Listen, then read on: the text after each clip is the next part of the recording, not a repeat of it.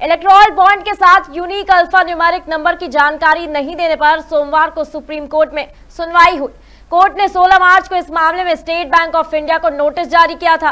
Court ने bank से 18 मार्च तक बॉन्ड नंबर की जानकारी नहीं दिए जाने पर जवाब मांगा था। बता दें कि सुप्रीम कोर्ट ने एसबीआई को कड़ी फटकार लगाई। कोर्ट ने एसबीआई के चेयरमैन से कहा कि आप 21 मार्च शाम पाँच बजे तक एक एफिडेविट भी दाखिल कीजिए कि आपने कोई जानकारी नहीं छिपाई है। बेंच ने 11 मार्च के फैसले में एसबीआई को बॉन्ड की पूरी डिटेल, खरीदी की तारीख, खरीदार का नाम, कैटेगरी की जानकारी देने के निर्देश दिए थे।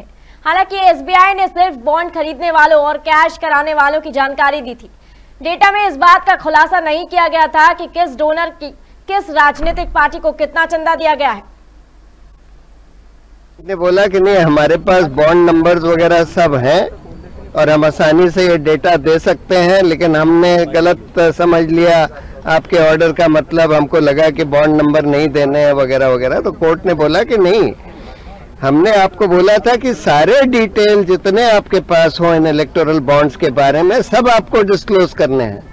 उसका ये मतलब नहीं था कि आप बॉन्ड नंबर नहीं देंगे या और कोई डिटेल नहीं देंगे। तो उन्होंने बोला है कि सारे ही डिटेल्स जो भी उनके पास बॉन्ड के बारे में हो, वो पूरे के पूरे डिस्क्लोज करें।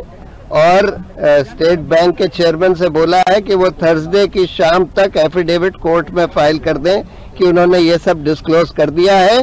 और इलेक्शन कमीशन इस सारे बॉन्ड नंबर्स के साथ सारे बॉन्ड्स के डिटेल्स तुरंत पब्लिकली डिस्क्लोज कर दें।